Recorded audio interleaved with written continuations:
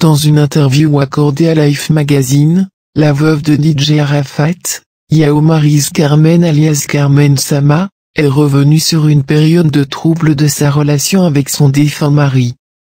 Les explications, juste après le petit générique.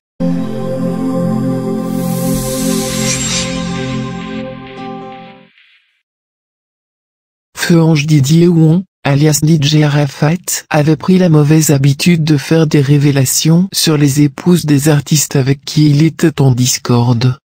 Dans la guéguerre qui l'opposait à son ancien poulain Ariel Chenet, Arafat DJ avait déclaré avoir entretenu des relations intimes avec la femme de ce dernier.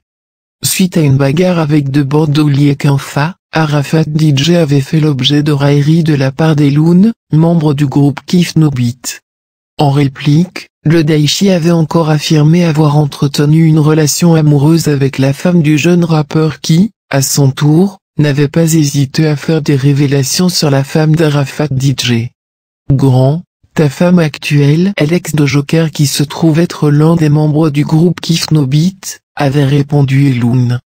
D'autres confidences avaient suivi sur Carmen Sama, soi-disant qu'elle avait aussi entretenu des relations avec des artistes ivoiriens avant de se mettre en couple avec DJ Arafat.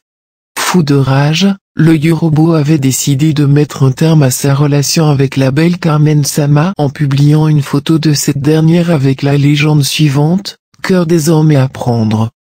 L'on avait même appris que Carmen avait quitté la maison conjugale mais pas pour longtemps puisque les choses n'avaient pas tardé à s'arranger.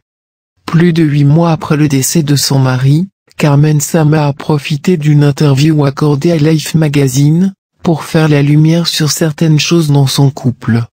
Vous vous souvenez lorsqu'il avait posté ma photo sur les réseaux sociaux avec pour commentaire, que apprendre Nous étions un peu fâchés l'un contre l'autre.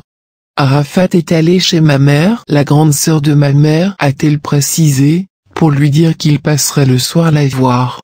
Elle lui a rétorqué qu'elle n'y voyait aucun inconvénient. Le soir venu, il est arrivé en compagnie de ses amis pour dire à ma mère qu'il était venu divorcer d'avec moi. Il a dit comme ça qu'il était venu me dénoter. Et qu'il ne m'aimait plus. Alors, ma mère lui a demandé s'il en était sûr. En fait, il s'attendait plus ou moins que ma mère lui demande de revenir sur sa décision. Chose qu'elle n'a pas faite. Bien au contraire, elle lui a dit, mon fils, tu sais, dans la vie, quand il y a le mariage, il y a aussi le divorce, a rappelé Carmen Sama.